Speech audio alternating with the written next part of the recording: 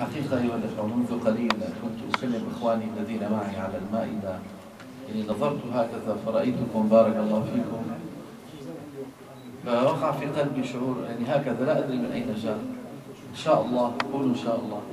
مجلسنا هذا من نسأل الله أن يكون من المجالس التي يباهي الله عز وجل بها ملائكته. لأني نظرت فيكم أيها الإخوة يعني على ما اجتمعتم. ما شاء الله. شامي على مغربي على يمني على سعودي على مصري. على على على. طب إيش القاسم المشترك؟ على أي شيء؟ من على ما اجتمعتم.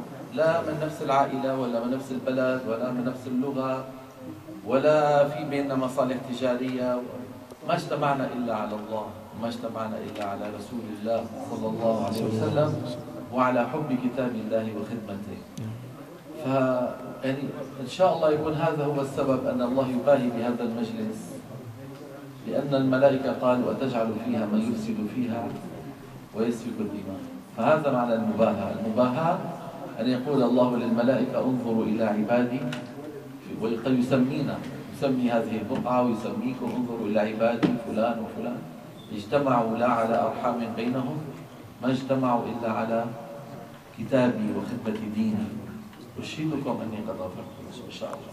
إن شاء الله. أسأل الله عز وجل أن يحقق هذا الرجاء والمنى. إن شاء الله أيها الإخوة يعني نحن نشكر الله عز وجل على ما تفضل به علينا من هذه الخدمة ولكن ثقوا تماما أن الشيطان لن يتركنا.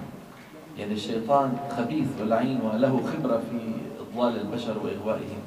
ولن يأتي إلى فضلاء أمثالكم فيقول اشرب الخمر أو افعل كذا. لن لن يفعل ذلك لأنه أذكى من ذلك. ولكن يأتي إلى الواحد منا فينفخ فيه. أنت أنت أنت عظيم أنت ما في منك أنت فصيح أنت بليغ أنت لولاك العمل هذا بيفرط أنت ف والله يا أيها الإخوة لا أنا ولا أنتم. والله ما في إلا الله سبحانه وتعالى. صاحب الفضل علينا جميعا. ويكفينا قوله تعالى وما بكم من نعمة فمن الله. ألا يكفينا هذه الآية؟ وما بكم أليس هذا الاجتماع نعمة؟ بالله عليكم أليس هذا الاجتماع نعمة؟ وما بكم من نعمة فمن الله. فإذا نحن نشكر الله عز وجل على ما تفضل به علينا أن اختارنا من بين ملايين البشر وكلنا عبيده كلنا عبيده والله يا إخوة ولو أطلت عليكم قليلا من 15 سنة تقريبا أو أكثر كنا في فرنسا في مدينة ليل في شمال فرنسا. عم نزور بعض الإخوة هناك مركز وكذا. أخونا عمر الأصفر إذا بتعرفوا مركزهم. فالمهم بالليل خرجنا ساعة متأخرة مثل الآن ومعنا أخ يعني يقودنا بالسيارة. أنا أركب إلى جانبه ومعي وراء أخونا الدكتور عادل أبو شعر فوقفنا على إشارة حمراء إلى جانبها موقف أتوبيس موقف عادي أتوبيس. والدنيا برد مثل الآن يعني. جالسة في موقف الأتوبيس المغطى طبعا هو الموقف. جالسة فتاة فرنسية وضعت هيدفون في آذانها وفي يدها اليمين سيجارة وفي يدها الشمال قارورة خمر. يعني إذا بدي بالغ بقول عمرها 18 سنة. إذا بدي بالغ. ساعة بتعمل إيه؟ تاخذ سحبة من أنا تأملتها لأنه نحن واقفين على الإشارة بطبيعتنا. تاخذ سحبة من الإيه؟ السيجارة بعدين تمسك القنينة تعملها. أنا نظرت هيك فوقع في قلبي أحكي, أحكي لكم وقع في قلبي أنت عبد لله وهذه أمة لله وأنت وإياها أولاد آدم. اللي وضعك وساواك فلان وساواك حافظ كتابه وعلمك كتابه وساقك إلى الشيوخ وجعلهم يقبلوا عليك. واعطاك وأعطاك وجعل نشر القرآن على إيدك هو اللي خلقها. أترضى أن يعكس؟ أليس بقادر على أن يعكس؟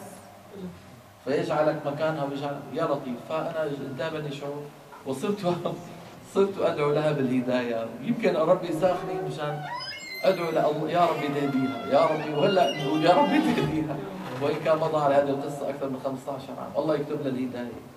لأنه هذه على الأقل أختنا في الإنسانية. والحمد لله اللي ما كانت بناتنا هكذا. الحمد لله اللي ما كانت إخواتنا هكذا. فالشاهد أيها الإخوة يعني كل ما تروا من نعمة لا تنظروا إلى أنفسكم بل انظروا إلى المنعم جل جلاله. هو الفاعل الحقيقي سبحانه وتعالى. وربي غني عني وعنكم. والله يا أيها الإخوة كان في شاب في ستراسبورغ في فرنسا. يعني تقريبا من 14 سنة. تركي شاب تركي أهله أتراك وعايشين في ستراسبورغ شاب من هالشباب له رفقاته فرنساويين بيروحوا بيسكروا مع بعض وبيحششوا. هذا أخونا بالله التركي لما بتفتل معه الحشيشة بيقول له للفرنس رفقاته الفرنساويين الله! نبي محمد رسول الله! القرآن كلام الله. الإسلام هو الحق. هدول هدول الشباب يعملوا شو عم يحكي هذا؟ وهن هن مسطلين مثل حكايته يعني مصفونين كلهم. بعد منها صاروا يروحوا يقرأوا أنه شو عم يحكي هذا؟ يروحوا على المكتبات يشوفوا شو هذا الإسلام. ستة دخلوا الإسلام على يد الحشاش أنا بعرف منهم اثنين. واحد منهم اسمه سيدريك والثاني اسمه جون فيليب. جون فيليب قرأ علي عشر أجزاء من القرآن قراءة إجازة. الحشاش هذا فيديو سيدي.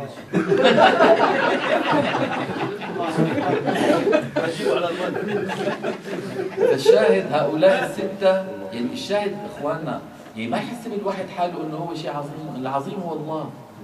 والهادي هو الله، إذا تخلينا كلياتنا ربي بيجيب من شاء من عباده.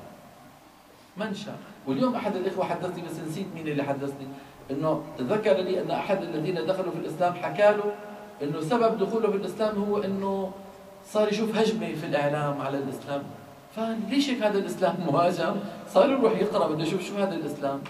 فبناء على قراءته على الإسلام دخل دخل في الإسلام. فالشاهد هذا الدين لا يحارب. ولو تخلينا كلياتنا كما قال الله وإن تتولوا يستبدل يستبدل. فنسأل الله ألا يستبدل بنا. نسأل الله الله ألا يستبدل بنا. عندنا في جدة أخت الآن صارت سعودية ولله الحمد لكن هي أمريكية. أمريكية أصلية يعني اسمها كارول سيربينسكي أمريكية مثل أي فتاة أمريكية. أبوها بل أشد أبوها قسيس يعني أبوها رجل كنيسة. تصوروا؟ وعاشت حياتها كشابة أمريكية عادي مثل ما عايشين البنات. بحكمة الله لأمر يريده الله. ويد العناية امتدت إليها. والله لا يحرمنا وإياكم يد العناية. شافت في الرؤيا سيدنا إبراهيم الخليل. وقع في قلبها رأت رجل أنه هذا إبراهيم الخليل نبي الله. شافته صاعد على جبل ومعه مثل عصا وهو ماشي في صعود وهي ماشية وراه. وين عم يحط رجله؟ عم تحط رجلها وراه هذه الرؤيا الأولى. طبعا هذا بيذكرنا بالحديث الشريف ألا إن طريق الجنة حزن بربوة. حزن يعني في حجار وفي عقبات. بربوة يعني طبعا المشي الصعود فيه صعوبة. ألا إن طريق النار سهل بسهوة. سهل يعني مبسط وبسهوة يعني بانحدار. هي الرؤية الأولى. الرؤية الثانية شافت حالها في حفرة كلها خنازير الله يكرمكم. وريحة الخنازير طالعة وإنتانات وكذا وصارت هي في ضيق شديد رح تختنق. وإذا برجل خارج الحفرة وقع في قلبها أنه رسول الله محمد نبي المسلمين. مد يده صلى الله عليه وسلم بأبي وأمي وأخذ بيدها وأخرجها من الحفرة. وأخذها في الرؤيا إلى إحدى زوجاته وقال لها عبارة ترجمتها هي الأخت طهري هذه. شو قال لها؟ طهري هذه.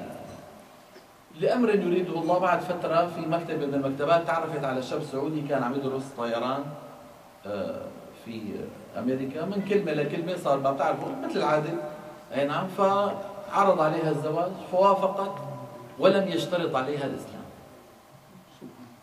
لم يشترط عليها. لحالها هي بعدين قرأت واقتنعت بالإسلام ودخلت عن قانون.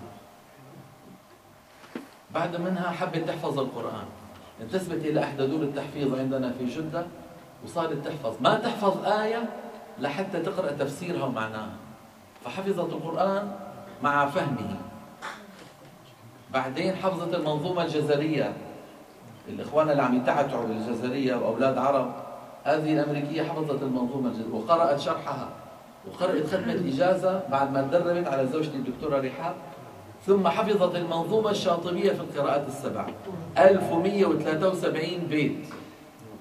ومعروفة الشاطبية. افتحوها واقرأوا ثم حفظت منظومة الدرة في القراءات الثلاث. وفهمت شرح المنظومتين. وبدأت بالقراءة العشر إفرادا على زوجتي ثم بدأت بالجمع إلى أن ختمت. الآن هي جامعة للقراءات العشر. وأمريكية أصلية. أرأيتم؟ لو تخليت أنا أو تخلى أي إنسان ربي من وراء المحيط بيجيب. من وراء المحيط. وبنت قسيس. وأنثى. لها أخت لها أخت. نعم سيدي؟ لها أخت يعني. فالشاهد الله يسلمكم هذا الذي يخشى علي وعليكم منه. العجب العجب بالاعمال أنا ساويت أنا عملت أنا جبت أنا أنا أنا المحرك أنا الدينامو. لك لا لك محرك ولا لك دينامو. ولا أنا ولا أنت. وما بكم من نعمة فخلوا هذه الآية بين عيونكم يا أخوان. وأنا مثلكم. وما بكم من نعمة فمن الله. فنسأل الله أن يثبتنا وإياكم. اللهم كما أدخلتنا دائرة القرآن وخدمته لا تخرجنا منها. إلى أن نلقاك وأنت راض عنا يا رب العالمين. أحينا ضمن هذه الدائرة وتوفنا ضمن هذه الدائرة. واجعلنا من رجال السلسلة المباركة المتصلة إلى النبي صلى الله عليه وسلم ثم إلى جبريل ثم لك يا رب العالمين. ثبتنا على هذا واجعل آخر كلامنا من هذه الدنيا شهادة أن لا إله إلا الله وأن محمد رسول الله يا رب العالمين. واحفظ إخواني هؤلاء وألف بين قلوبهم. ولا تجعل للشيطان سبيلا عليهم يا رب العالمين. اللهم احفظ نساءنا واحفظ أولادنا. اللهم تولى هدايتهم. اللهم إنا عاجزون عن تربية أولادنا في هذا العصر الذي فتحت فيه الدنيا. فتولى تربيتهم أنت يا رب العالمين وأعنا على القيام بما أوجبته علينا تجاههم إنك على ما تشاء قدير بالإجابة الجزيل والسلام عليكم ورحمة الله وبركاته.